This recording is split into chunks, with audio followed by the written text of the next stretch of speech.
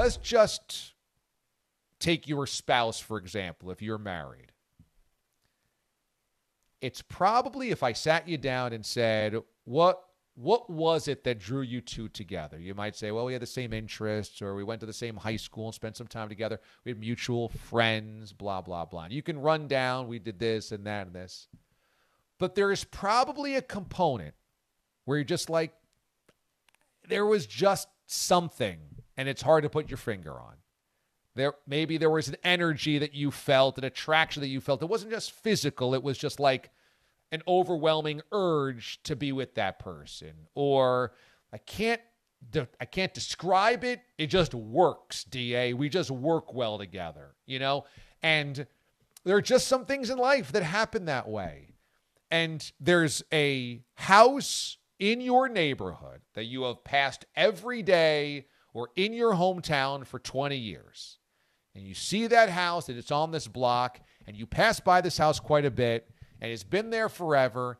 And the rest of the houses on the block have a nice lawn, and the sun is shining, and the birds are chirping, and this one house always has overgrown bushes or the sidewalk's not taken care of or the the windows are always pulled dark or something you're like why why is that one house just have kind of a bad energy around it it just it just never looks right and you would say it's not on a bad street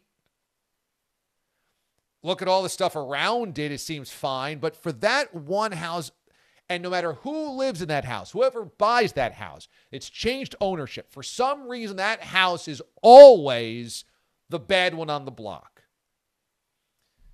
Sometimes there's just a rain cloud over certain people's heads and you can't even put your finger on. You're like, wow, yeah, that guy always has like a bad stroke of luck. Kevin Wall was joking about this earlier last hour, but some people just keep stubbing their toe and they they bang into walls and and desks and it just it can't escape it. And there is something last night, I got to be honest, where I couldn't even walk away from that game and break it down sensibly. Look, the the the Josh Allen stuff is this guy is just a problem fixing his own mistakes. And there is the Zach Wilson thing where he's immature or he's in over his head or whatever. He just doesn't get it. You don't even have to assess it more than that. He just he just does not get it. But Aaron Rodgers, with this offseason, he went into the darkness retreat. He thought he might retire. He came out and said, No, I still love football. And looky here, there's one team that's willing to give me everything that I want. And the Jets recruited him.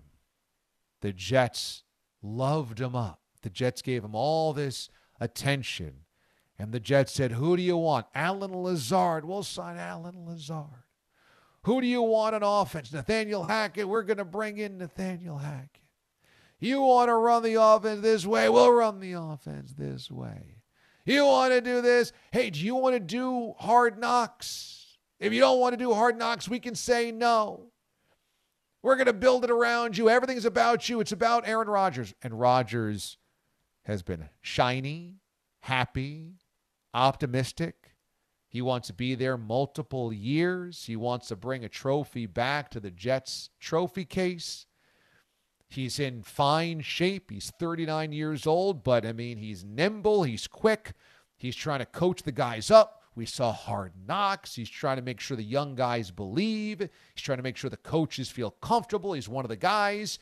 And now we're going to open up the season at MetLife Stadium. They're calling it Jet Life Stadium. They're fired up. Jet Super Bowl aspirations, Monday Night Football. And four plays in, Rodgers doesn't get like a safety with his helmet torpedoing into his knee. He's not picked up by a linebacker and smashed down to the ground at his shoulder. He doesn't throw a, a pass and his finger crashes into a helmet and he breaks his finger. He's kind of taken down from behind a little bit and he gets up and it doesn't look like anything's a problem. And then he just rolls down and sits down.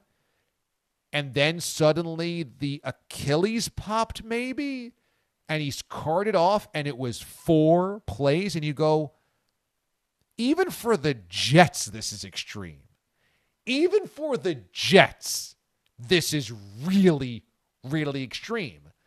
And there's a part of this that just feels like, is there a bit of a curse? And you can't even put your finger on it, but it just feels like, what are the odds Aaron Rodgers, after all of that, and he's in great shape, lasts four, had they been four run plays, had it been three run plays in a bubble screen, had it been four shotgun snaps, he would have lasted until the second drive.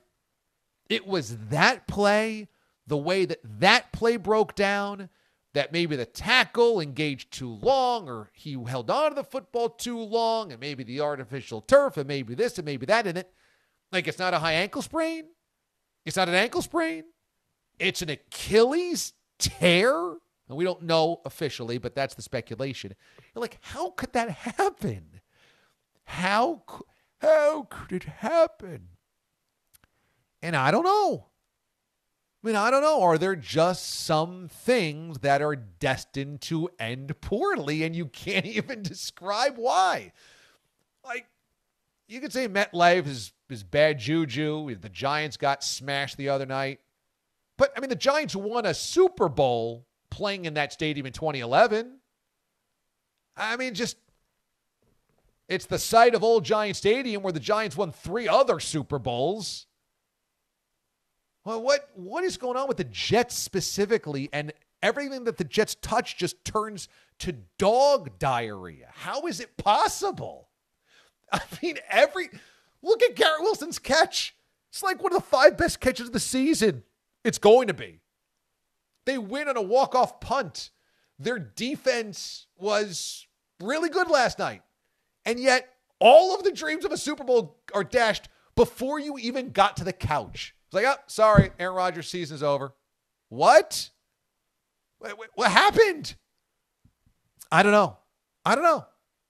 I mean, I, I do believe in a certain amount of karma, and I do believe in a universe that that has reasons for everything, and there's you know, just some things that are inexplicable, and you're not supposed to know everything because there's larger powers at play and there's grand universe energies at play, and like you were just little human beings. And, but I mean, this one, come on.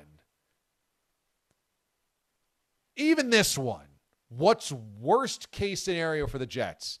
That Rodgers stinks and they go 6 and 11 and he bickers with the media and the fans hate him. Worst case scenario was not tore his Achilles on the first series. I mean, even that, you couldn't even make that up.